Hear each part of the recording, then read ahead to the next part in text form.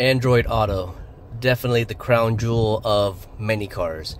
However, does your car only have it available when you have to hardwire it in? And sometimes you wish there was a wireless option available and you don't want to use one of these? Well, lucky you. Today I have a tutorial on how to get wireless Android Auto on any unit that is hardwired and also a great amazing product that makes everything possible.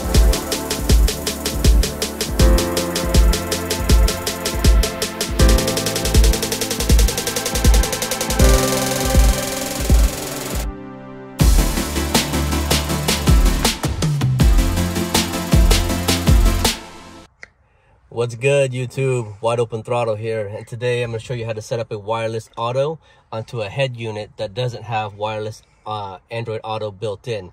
And the same can be said for um, any other units besides the uh, one that's hardwired. So today I have a uh, Corolla and uh, we're going to set up this Motorola MA1 and it converts any uh, plug-in Android Auto into a wireless unit. So the reason why this thing is awesome is that it saves you from unplugging your phone and plugging it back in every time you get into the car. And if you're a, a driver that goes in and out of your car all the time, over time that little plug USB device is going to get worn down. So this will save you from it. And also you can keep your phone in your pocket versus taking it out every time to use Android Auto onto your head unit here. So all right, so let's get started.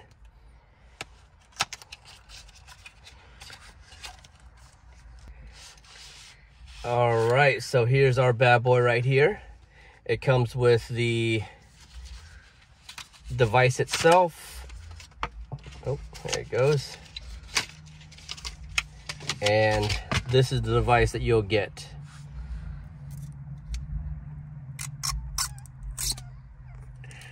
All right, so it's USB-A and the unit itself, and that can be placed anywhere uh, on the your dash or device and it even comes with a silicone mounting device. So it goes right in the back and then you can mount it anywhere in your car uh, you so desire.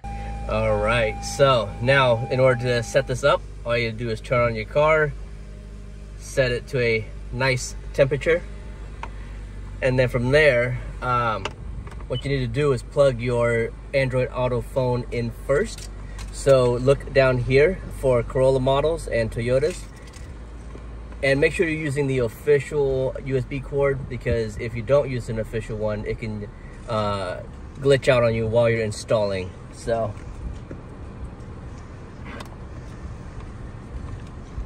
so I'm gonna plug in my phone. All right, so now that you've plugged in your phone, make sure you go through all the prompts to set up Android Auto to begin with. So this establishes your phone with the head unit, so therefore it can communicate with each other and knows what the phone is. And then after that, you're going to unplug it and then plug in the Motorola dongle. All right, and after you got the Android Auto set up on your phone and to your car, all you have to do is just unplug the existing cable and then just plug in the Motorola unit and then uh, we'll continue the setup from there. So now when you plug it in, this thing down here, the LED should be flashing blue. All right, now for the next step, you're gonna go onto your cell phone and go into the Bluetooth setting and scan for a device that's entitled Android Auto Dash, and it's gonna give you four unique alphanumeric numbers or letters and just uh, connect to it. So in my case here, it says Android Auto Dash CC11, and that's the one I'm going to select and connect. All right, so after the Bluetooth has connected to the uh, Motorola dongle, on the bottom of it, it should be a solid green LED now. So uh, that means Android Auto is working. And if we go onto here, uh, you have access to all of your Android Auto wirelessly. So there's nothing connected besides this little dongle and is now wireless to your uh, head device here. And now you have full functionality. You can do whatever you wish. Everything is available on there.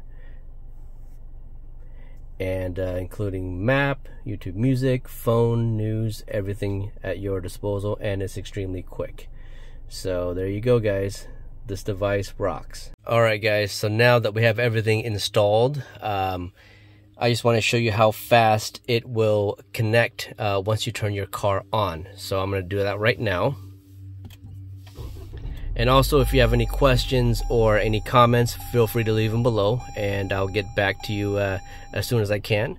And also in the future, I'll be doing a lot of reviews and also tutorial videos. So please, it would be much appreciated if you can subscribe and hit the like button. All right, so here we go.